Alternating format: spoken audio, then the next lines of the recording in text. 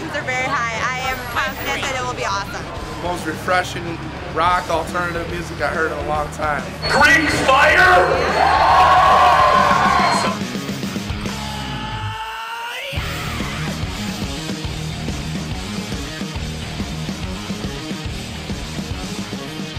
Uh, another Q Up and Cubby show at the famous Cubby Bear. I mean, Greek Fire. Let's talk about Greek Fire, by the way. Totally rocked it. Dig the drumming. The band is real tight, and the vocals are great, the sound's great. Greek Fire!